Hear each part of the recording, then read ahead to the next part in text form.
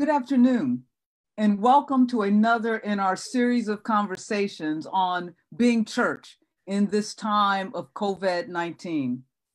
It is an honor to have joining me this afternoon my colleague and friend, Karenna Gore. She is the founder and director of the Center for Earth Ethics at Union Theological Seminary in New York City. Karenna, thank you for taking the time to join me for this conversation on this afternoon. Kelly, thank you so much. I'm truly honored and uh, just really happy to be here. Happy to see you. Have been uh, have been missing seeing you um, in the course of, of regular work at Union. So here we are. Yeah, exactly. The virtues of Zoom. Uh, the, I want to mm. jump right in because there's so much to talk about, and particularly now as we are in this 50th anniversary year uh, for Earth Day. And so there are many issues concerning the health of our Earth uh, and all those it inhabited. Uh, that the COVID 19 crisis has really revealed to us in even more stark ways. And so one of the things, of course, that is revealed to us is, in fact, uh, the reality of injustice and inequality that is really endemic to the fabric of our nation.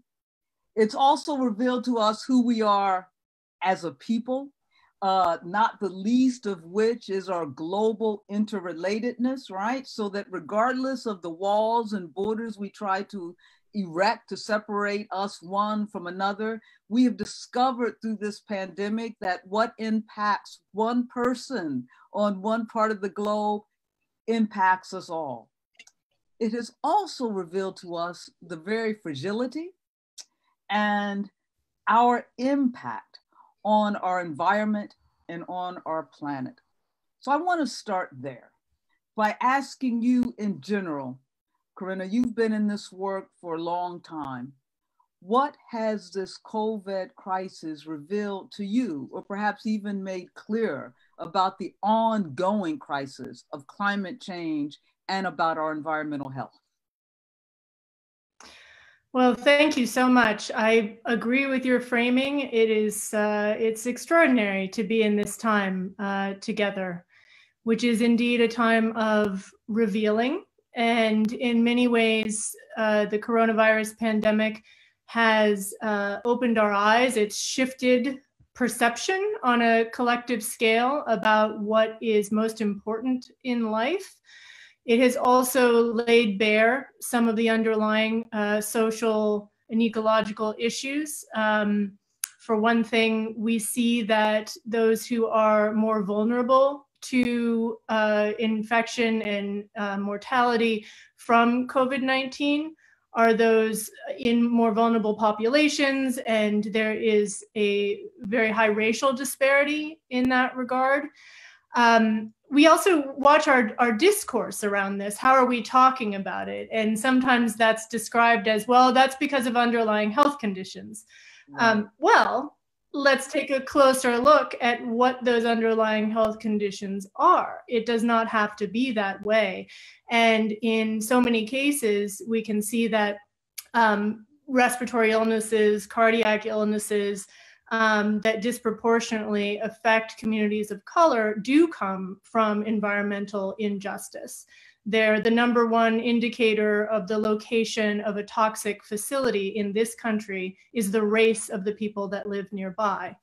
African American children are 10 times more likely to die from asthma than white children in this country. So, to take a look at that and see that uh, we have created uh, uh, these these vulnerabilities um, by virtue of the dehumanizing of these populations and ignoring what our society has called externalities of pollution. So I, I believe that that revealing time is very important. Another thing that it has done is it has really laid uh, the impact of science, the importance of science, and listening to science. And there's been a kind of tr- trend in some ways um, understandable and in some ways uh, perhaps even righteous to distrust expertise, you know, experts telling us how to live our lives in a top down way. However, science is based on the truth of observations of the natural world and taking politics out of it and there are laws whether you think of it as as nature or creation or creator there are laws that are higher uh, that are at work here um, when it comes to the carbon cycle when it comes to gravity and when it comes to the infection vectors of COVID 19. So it shows us how um, just because we want to ignore it and we don't, some people want to ignore it and not look at it, doesn't mean it's not real. So that's another thing is looking at the science. I think it's also important to see that how change is possible. There's a very good revealing here about how people will shift um, and say, you know, I, what's most important to me is the health of my family and my community, and that goes that can't be measured by money. And uh, and we've seen that people have taken it on themselves and acted actively for the common good. So there are many ways in which this has has given us um, a wonderful opportunity to change uh, for the better. My goodness, Karenna, you want to dig in uh, just a little deeper into a couple of things uh, that you have said here. First of all, I love the way you talk about this as a revealing and what this has revealed to us, good and bad, uh, and possibilities. Crises is also means opportunity. It's a time for opportunity. And now, as these things are revealed, what's the opportunity for change? What's the opportunity to become better? One of the things that we have seen is that we as individuals, I know there's been a debate whether we're talking about what individuals can do to uh, affect a better environment and uh, better health for our planet or what industry and corporations can do. But what we have seen uh, revealed to us during this COVID crisis when we're all sheltered in place and not driving as much is we have seen a drop, right, in admissions. We've seen a drop in uh, air pollution. We have seen wildlife come alive again. I watch foxes playing in my backyard uh, uh, during uh, this period of time. Mind you, I watch them from a distance. Uh, but we have mm-hmm. seen our environment come alive in a way that it has not been alive before, suggesting that we as individuals do have an impact on our planet's health, on our own health. We it, it affirms science. Can you speak to that? Absolutely. I think it is it is wonderful to see the images of of and it's not just images as you say it's personal experience as well. Um, uh, as what we might see on TV or on the computer of wildlife coming back um, and skies being clear of, of smog. And I think that it's important for us to realize that um, there is a way for us to have that and go outside and connect with each other. The, the, the incredible nature of this problem right now in the climate crisis um, is that there has been in the last years uh, a huge um, a revolution in availability and effectiveness of clean renewable energy mm-hmm. and it's been quite quick just in the in the last five years there um, it used to be that i think five years ago the um, electricity from renewable energy was cheaper than electricity for fossil fuels in only 5% of the world. But today, it's cheaper from renewable energy than fossil fuels in two thirds of the world. And they project that in five years, it will be that way in 100% of the world. So, why are we still relying in this in our world still relies for fossil on fossil fuels for energy in 80% of the world. Why? Because of the money and power of that industry that has taken a hold of our political process. So what this shows us is that we we it, there's a there's a sense of, of joy and relationship and community with uh, clean air, clean water, and wildlife there is something positive and loving about that. And if we want to reach for that, we have the tools to do that now. It's actually a, a wonderful thing. And we can live, we, we, we, human beings, I think sometimes there's a, a dangerous and and you know sad tendency for us to think well we're the problem. And maybe this and this feeds into theology of course right. thinking about sort of is there something inherently sinful about human beings? No it's the systems. And so uh, one other point i want to make is that even though it's true what you say that that things are coming back to life in that way but it's also true that emissions are still really high even with this shelter in place. And there have been some studies showing that. Well why? Where are they coming from? Because they're so built into the systems that it's not just about individual behavior. So now we have a chance to really see the agency of us as a people in engage with those systems to make those changes which can lead to a much better world. But we have to be vigilant and careful because in this time of crisis it's not just the, the good that rises up it's also there are also predatory forces that want to take advantage and try to get more power. So we're in a really important time and I, i'm so happy that you and so many other incredible thinkers and leaders are, are reaching out to people to have these conversations so that we can do that together Good. I want to say something, uh, spend a little time on these predatory forces in, in a different way. Uh, again, that is in relationship to environmental injustice, as you laid out so clearly uh, earlier. And so we have people, as you suggested, the communities that are most vulnerable to COVID fatalities and this COVID virus are also the communities that are most vulnerable to living under conditions of pollution and uh, unhealthy environmental conditions. And it's no accident, obviously, that those are people of color. One gentleman in Port Arthur said that, you know, we feel like we are living in sacrifice zones, that we have been sacrificed.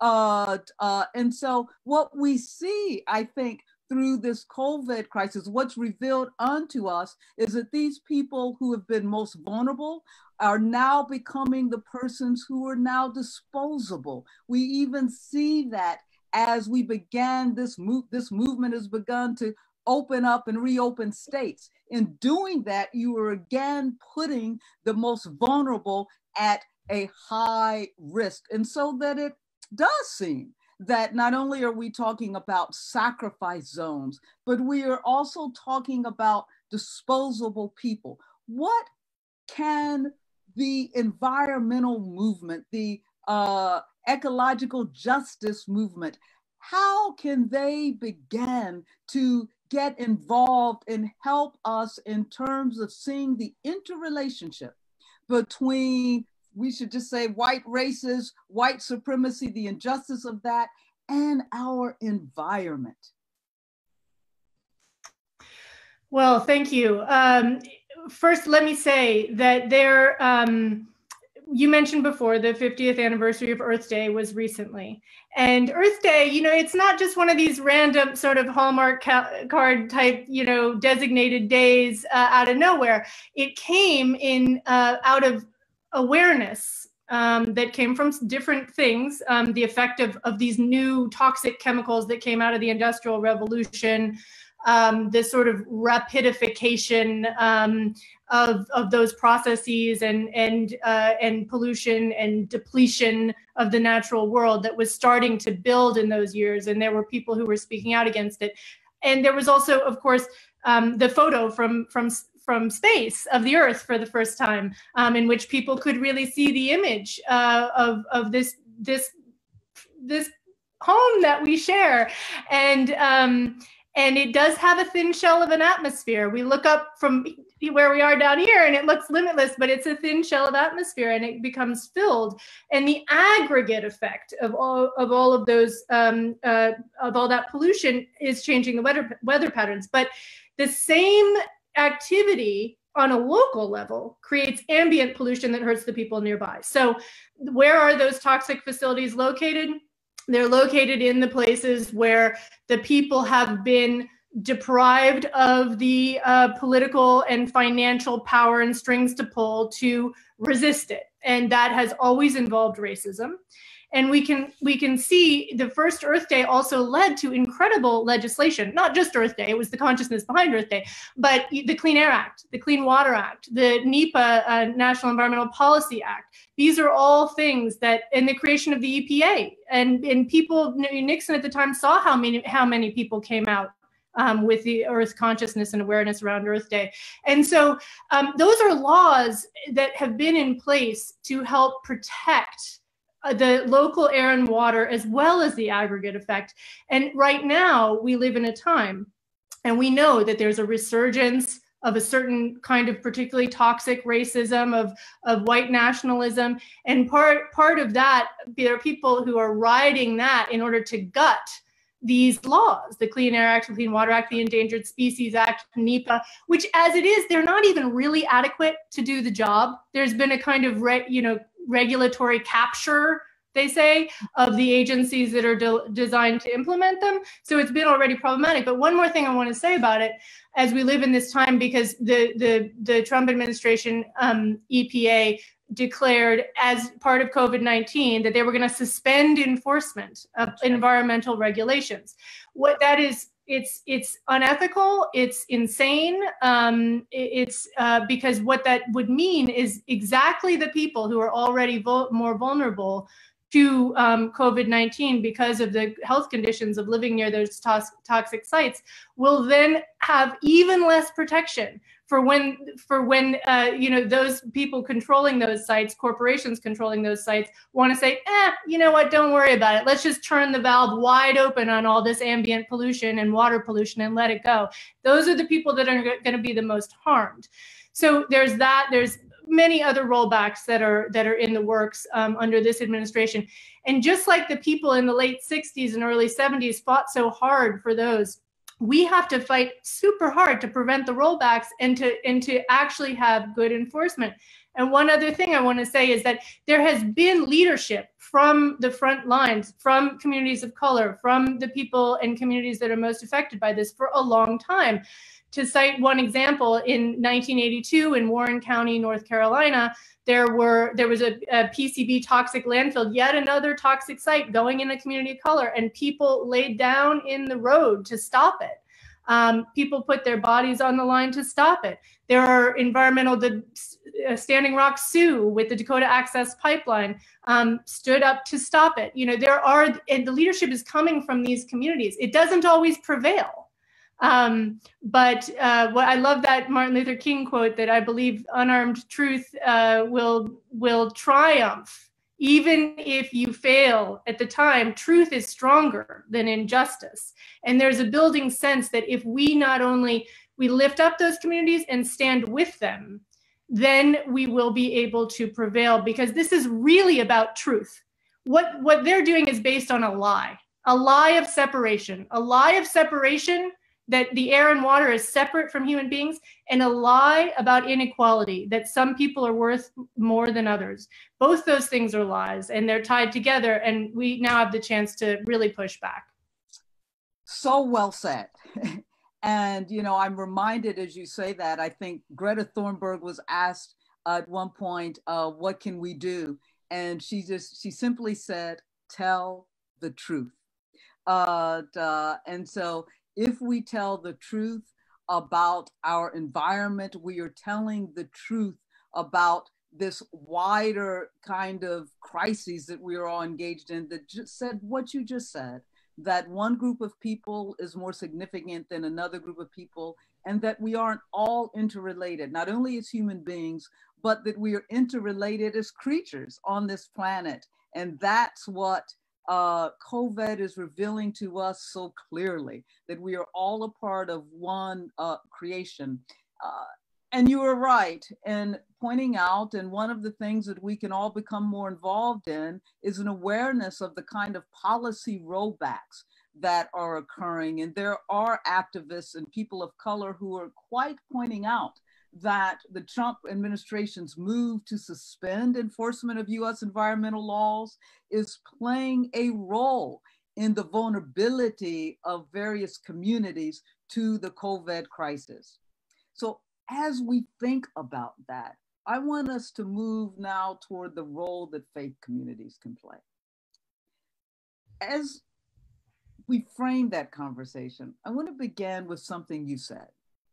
And and several times that I've seen you speak in interviews, you suggested that the cause of our Earth's destruction is has to do with our values and that this is a moral issue. Can you speak to that?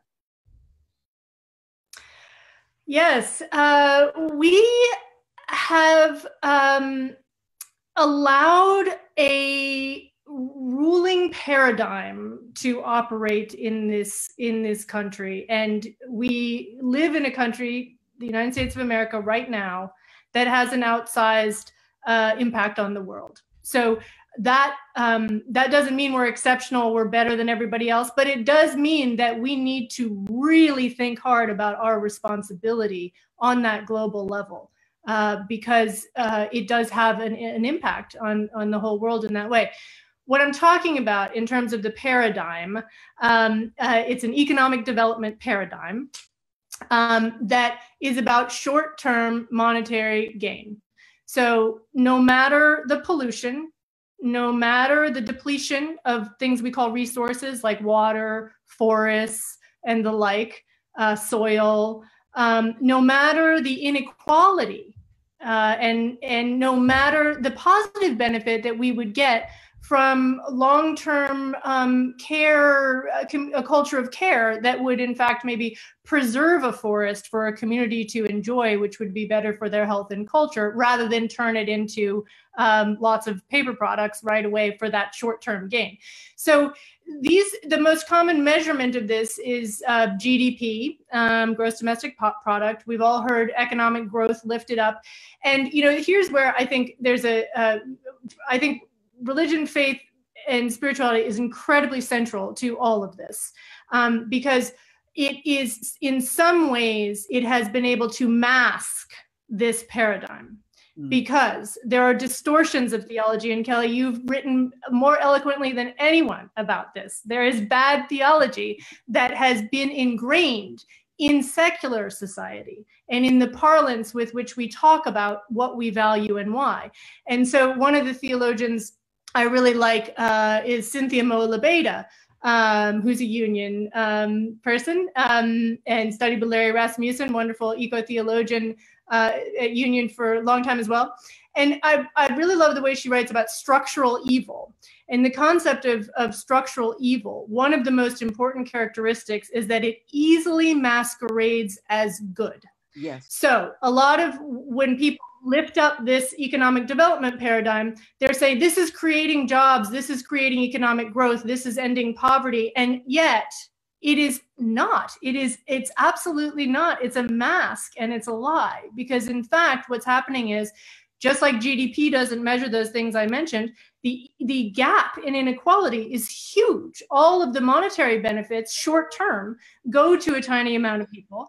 And then those who suffer from the degradation of the environment around them and from being extracted from their labor, their community, their culture, their food systems, everything are the ones that suffer the health consequences. So we need to look deeply in our in our faith traditions, our religious traditions. What about um, our, the way that we have have lived and taught uh, our our religious values has enabled this?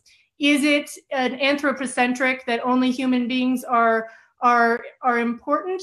Um, there's a serious conversation to be had about that because human beings themselves are certainly also suffering from this but also the short term who is in the who is in the circle of moral concern that we're talking about because increasingly what we have allowed is for the circle of moral of concern to be the markets and we can see now That's as right. people are suffering and hurting full of anxiety and the stock market goes up the markets aren't reflecting how people live their lives and what's most valuable and important. So I think that um, it's it's it's about our values.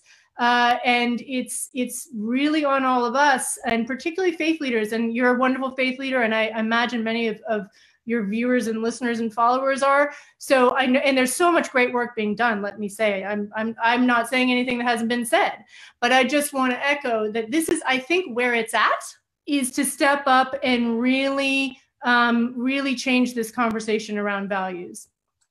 I like this image of a circle of moral concern and who's in that circle of moral concern and what's perhaps not ironic, what is so revealing, and again, this COVID crisis has revealed it, that the people that are in the outside of the circle of moral concern are the people that are most vulnerable to the environmental kind of health conditions that are living in environmentally unhealthy situations that are most vulnerable to the uh, disease of our planet, of our earth. And we are also seeing, aren't we, that even as we navigate our way through this COVID crisis and talking about reopening and et cetera, et cetera, who's within the circle of moral concern and who's not?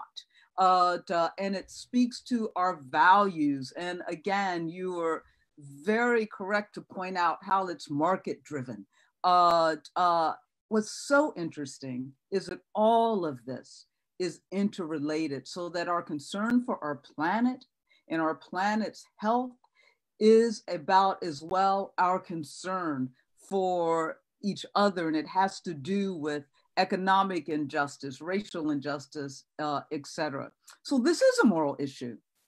And so as we oh my goodness karenna we could go on forever. So we're coming to an end. So as we come to this end. And we think about this as a moral issue, a, a issue uh, for faith communities uh, to be concerned about. What is it that you would want to leave us with? What would you like to see faith communities doing? What's our call to action uh, uh in terms of understanding the complex realities of our concern for our earth? I think that we, all of the world's religious and spiritual traditions, and, and we include very much so indigenous traditions, uh, wisdom traditions in that, of course, um, in, especially with this issue, have a teaching about the oneness of of life, the essential unity of life. There are no externalities. This language that came from a, certain branch of, of economics about externalities, that it's not important to your business plan. So just um, you know, let it go and pretend it doesn't exist. Um, and then we have had uh, business, people say government should be more like business. So we've ceded a lot of our civic sphere, sphere to that mentality. There are no externalities. Uh, when um, Martin Luther King says injustice anywhere is a threat to justice everywhere, it's similar in meaning to Thich Nhat Hanh saying we are here to awaken to the illusion of our separation. Mm. So we need to really think about that. It's not just that it's not fair to the people that are getting the short end of the stick, it's that it hurts the health of the whole. And so how do we how do we voice that and live that in a way that we understand? Just as you know a covid outbreak in china um, is going to wind up being a covid outbreak in manhattan. Um, ch- chopping down the amazon rainforest um, is going to wind up with stronger storms and, and, and droughts and heat waves and wildfires in the united states uh, melting ice at the poles causes rising sea level in places like Bangladesh. You know, we're, we're meant to have uh, almost, I mean, the numbers is in the hundreds of millions of refugees. Um, uh, if we if we do not act on this, so how do we how do we bring our consciousness and articulate for those who are not yet there what this means this unity of life and how it is a beautiful and strengthening thing. It is it's not a threatening thing. This is not about fear. Just like wearing a mask is not about fear. It's about respect. It's about love. It's about courage. How do we understand that caring for the whole is actually self care. So I believe that now we have uh, a charge among us to um, to think not only how we bring our own consciousness to that place, but how do we communicate it in a way that is not um, not finger pointing. Uh, we have a lot of judgment out there, a lot of misinformation, a lot of anxiety and polarization. How do we communicate it in a way that we can really reach people and bring this moment uh, to a time of transformation? What a place to stop. We have been awakened to the illusion of our separation.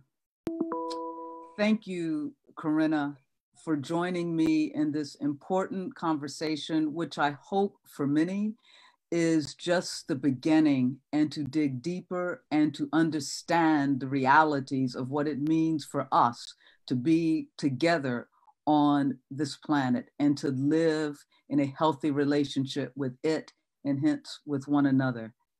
Thank you, Karenna. I know you and I will have many more conversations to come. I thank you for this conversation, but more than that, I thank you for your work. Thank you all for joining us. Thank and you. I invite you. Thank you. And invite you for future conversations of being church in the time of COVID 19. Thank you.